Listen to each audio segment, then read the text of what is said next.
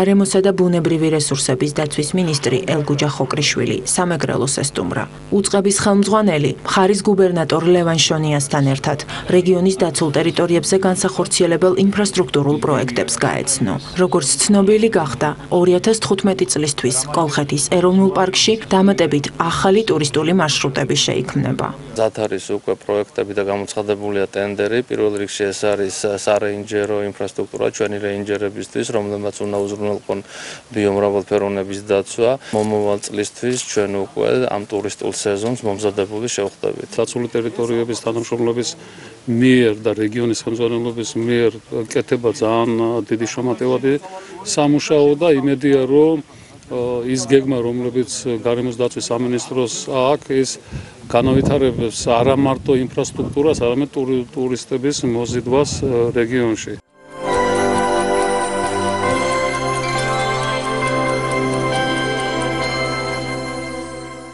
ქობულეთის შემოვლითი გზის მეორე ლოტზე 19 კილომეტრიანი მონაკვეთის მშენებლობა გრძელდება. ობიექტი რეგიონული განვითარებისა და ინფრასტრუქტურის მინისტრმა აჭარის მთავრობის თავმჯდომარესთან ერთად მოინახულა. დავით შავლიაშვილის განცხადებით, ამჟამად მიმდინარეობს ასფალტის საფარის დაგება. ასევე იგეგმება 9 ხიდის, 7 გზაგამტარის, 21 მიწისქვეშა გასასვლელისა და გვირაბის აგება. ქაროსნო ავტომაგისტრალზე ქობულეთის შემოვლითი გზის მშენებლობა აქტიურად მიმდინარეობს. ეს ერთ-ერთი ყველაზე რთული მონაკვეთი არის. კონსტრუქციულად 16 სახიდე გადასასვლელი, რამდენიმე გვირაბი, საგამტარები, წყალგამტარები და გადასასვლელები არის. დასაქმებული ყავს ადგილობრივი მოსახლეობა დაახლოებით 70% მოსახლეობის არის საქართველოს მოქალაქე. და ახლა მეორე ფაზის შესვლის შემთხვევაში ექსპლუატაციაში შესვლის შემთხვევაში დიდი დატვირთვა იქნება ამ მონაკვეთს. კერძოდ ციხისძირის მონაკვეთი იქნება განტვირთული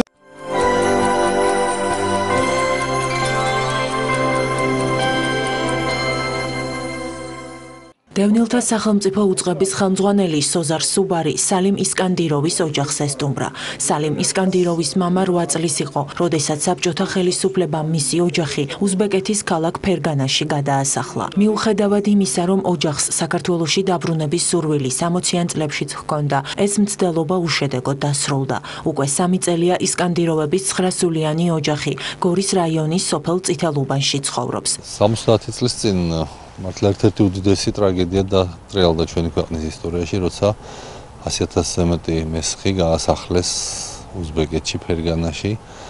10000-ზე მეტი ადამიანი მარტო გზაში გარდაიცვალა და ამ დღეს ხსოვნა საჭირო თუნდაც იმისთვის, რომ აა აღარასდროს აღარ განმეორდეს ასეთი ტრაგედიები. მესხები, რომლებმაც მართლა შეძლეს, რომ ყველგან სადაც კი ცხოვრობდნენ, უდაბნო ექციათ სამოთხედ და უდაბნოიქციათ წალკო და ძალიან მშრომელი ხალხია და ასე არიან ყველგან სადაც ცხოვრობენ. სამწუხაროდ ეს ისტორია განმეორდა 80-იან წლების ბოლოს, როდესაც მათ მეორედ მოუხდათ დევნილობა ფერგანიდან დატოვეს ფერგანა, ბევრი მათგანი დაბრუნდა საქართველოში, ბევრი მათგანი ცხოვრობს სოფლის სხვადასხვა ქვეყანაში და დღეს ყველაფერი უნდა გავაკეთოთ იმისთვის, რომ ყველა იმ ადამიანს, რომელსაც აქვს დაბრუნების სურვილი, კონდეთ დაბრუნების ღირსეული შესაძლებლობა და ღირსეული შანსი. 1944 წელს 14-15 ნოემბერს სამცხეთ ჯავახეთის რეგიონიდან გაასახლეს 220 ოჯახი. დღეს ჩემ ოჯახში სტუმრად იმყოფებოდა ბატონი მინისტრი ტოლერთა განსახლების მინისტრი ბატონი სოზარ სუბარი გავახსენეთ იმ დღეები ვილაპარაკეთ იმ პრობლემებზე, რასაც არის პრობლემები,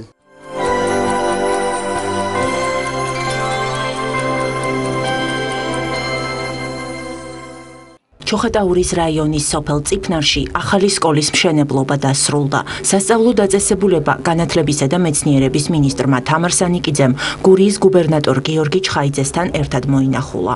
როგორც მხარეებმა აღნიშნეს, სკოლა ახალი მერხებითა და დაფებით აღიჭურვა. დაწესებულება ასევე ადაპტირებულია სპეციალური საგანმანათლებლო საჭიროების მქონე მოსწავლეებისთვის.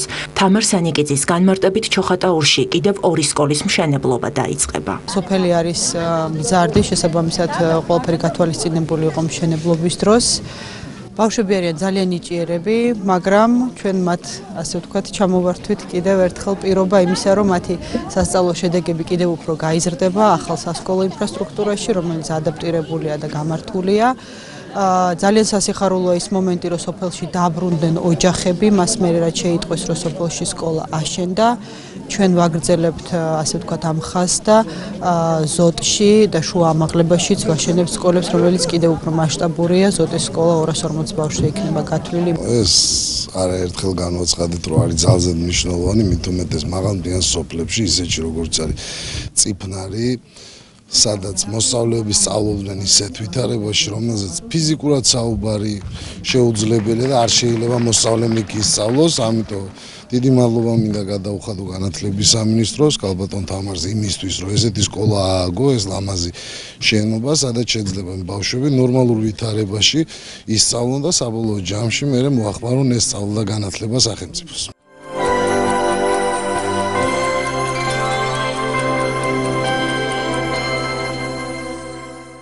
თბილისის მე-16 ბაგაბაღში ახალი ჯგუფები გაიხსნა. აღნიშნულ შენობაში სარემონტო სამუშაოები რამდენიმე ოთახს ჩაუტარდა. ბაღში ამ ეტაპისთვის უკვე შესაძლებელია დამატებით 120 ბავშვის მიღება. საბავშვო ბაგაბაღების გაერთიანების ხელმძღვანელის თემურ თორდინოვას განცხადებით, მსგავსი ფართების ათვისება სხვა აღმზრდელობით დაწესებულებებშიც გრძელდება, რათა დაკმაყოფილდეს ყველა არსებული მოთხოვნა.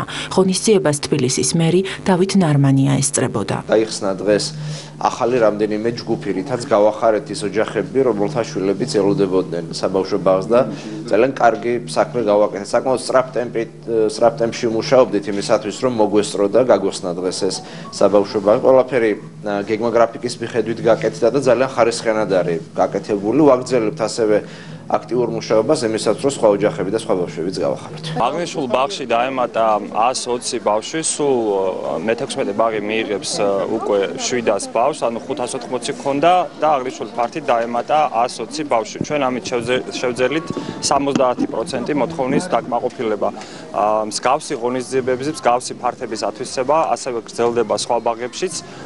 ვინაიდან მოთხოვნა არის ძალიან დიდი, ჩვენ გამოუყენებელ ფართებსაც ვარემონტებთ იმისათვის, რომ გაზრდილი მოთხოვნა ეტაპობრივად დავაკმაყოფილოთ. ეს შენობა 25 წელი ფაქტიურად უფუნქციოთ იყო ამ ზაფხულს თვენახების განმავლობაში. საშუალება მოგვეცა რომ გაგვეკეთებინა და დამატებით მიგვეღო 120 ბავშვი.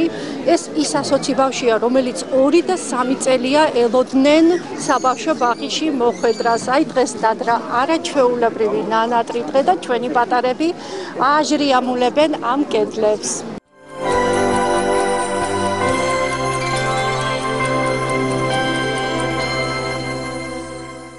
ფინანსთა სამინისტროს მომსახურების სააგენტოსა და საქართველოს ბანკ შორის ურთიერთთანამშრომლობის მემორანდუმი გაფორმდა. ხელშეკრულების თანახმად მომხმარებლებს საშუალება ექნებათ იოქშენჯიზე საქართველოს ბანკის ელექტრონული გადახდებით ისარგებლონ.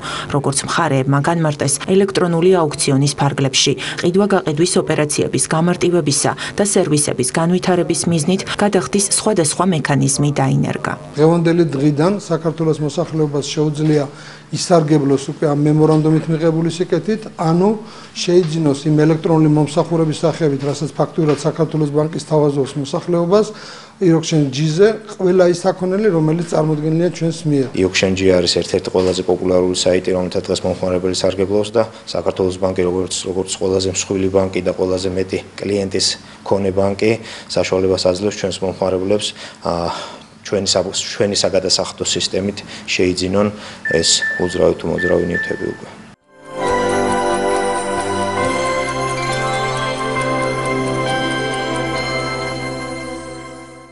საქართველოსა და ყაზახეთის პროფკავშირების გაერთიანებებს შორის ურთიერთთანამშრომლობის მემორანდუმი გაფორმდა.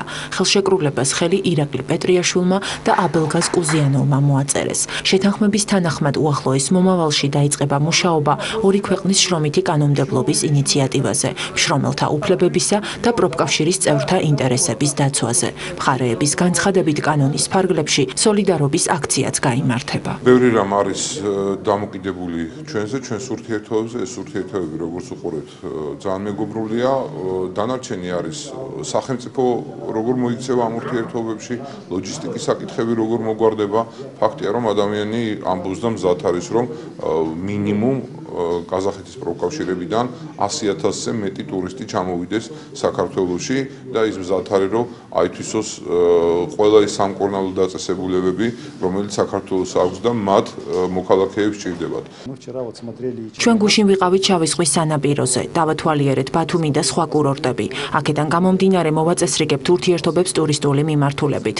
ყაზახეთშიც არის შესანიშნავი კურორტები და ვიქნებით მოხარულები, რომ ქართველებმა იქ დაისვენონ. მეორე მხრივ საქართველოში არის ეკოლოგიურად სუფთა პროდუქტები. ჩვენ მთელი მსოფლიოს ქვეყნებიდან შემოგვაქვს პროდუქცია და რატომ არ შეიძლება მათ რიცხვში იყოს თქვენი ქვეყანა?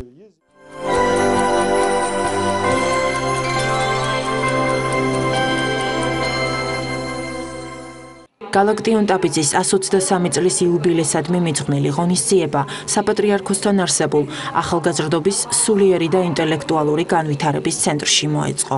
ამ თარიღთან დაკავშირებით შეხვედრაზე საპატრიარქოს ტელევიზია ერცულოვნების შემოქმედებითი ჯგუფის მიერ მომზადებული ფილმის ჩვენება გამართა. დოკუმენტური მასალა დიდი ქართველი პოეტის ცხოვრებას ასახავს.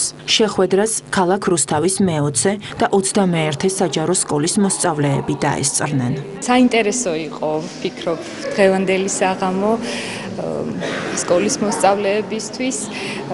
სიმბოლურია, რომ გალაქტიონის დაბადების დღეზე წარმოდგენილი იქნა ჩვენი არხის პროდუქტი, ციკლიდან გზა რომლითაც ვიარე, გალაქტიონი ძალზე სასიხარულოა რომ ზოგადად ახალგაზრდობა ძალიან დიდი ინტერესი ჩენს შემეცნებითი საუბრების მიმართ. მე და ჩემი კლასელები ჩამოვედით ქალაქ რუსთავიდან მე-20 საჯარო სკოლიდან. მოგვიწვიეს galaktionis 123 წლის იუბილეზე. და ანუ მე მის შესახებ პრომეტი გავიგე და ის ერთ-ერთი საუკეთესო პოეტი იყო მთელი საქართველოს ისტორიაში.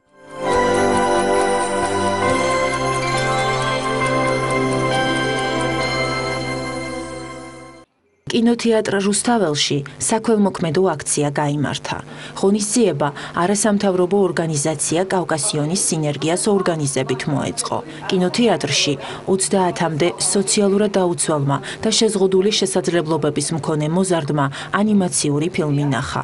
კინოჩვენების შემდეგ ორგანიზაციის წევრები პატარებს ტკბილეულით გაუმასპინძლდნენ და სპეციალური საჩუქრებიც გადასცეს.